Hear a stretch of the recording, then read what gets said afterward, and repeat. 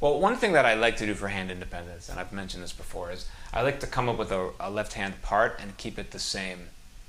You know, so like uh, if, if I keep the left hand the same,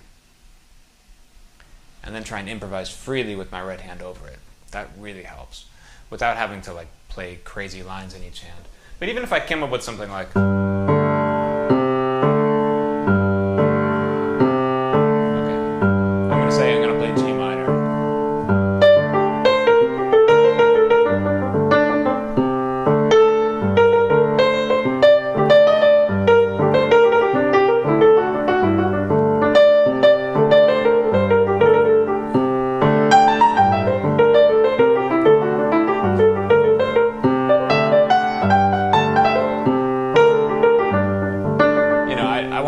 can do this.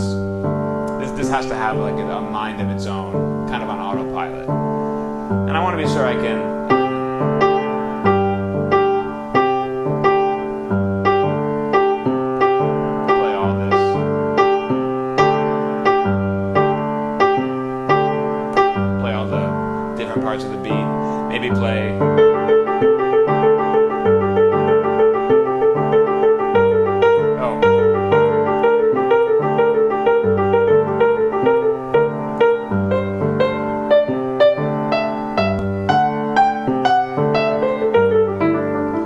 Make sure I'm that that really helps with hand independence.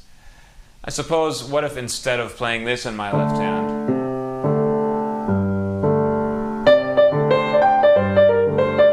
instead of playing that, what if I played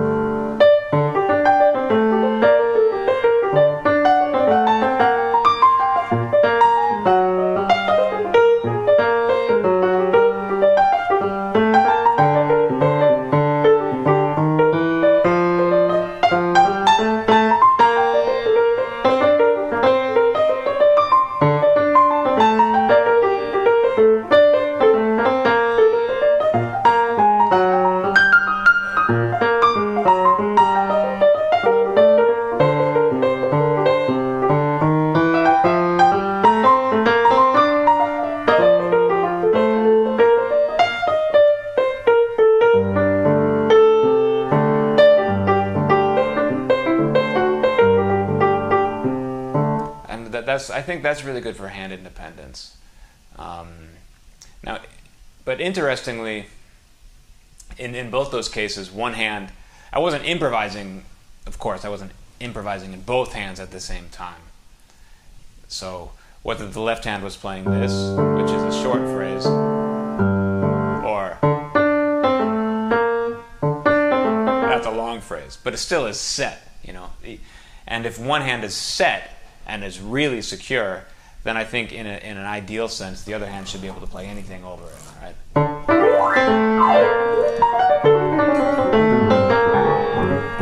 mean, I don't want to be obnoxious, but uh, for example, that kind of freedom.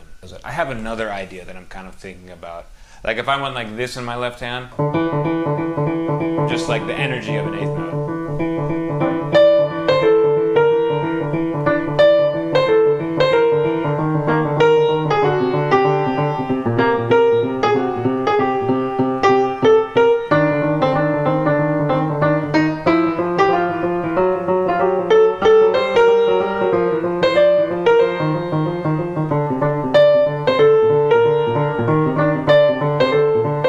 So if I get that going, maybe if I can keep this energy going.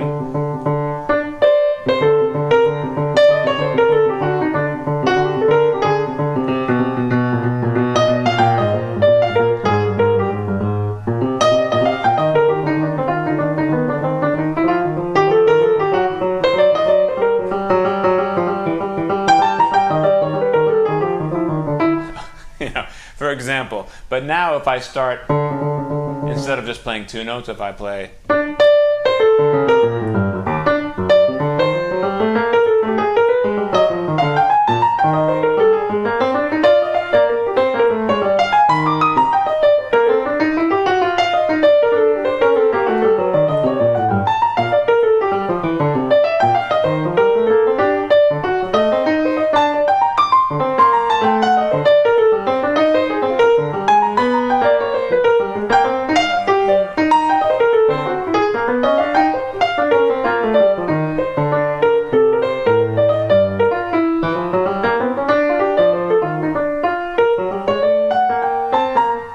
I don't know, something like that.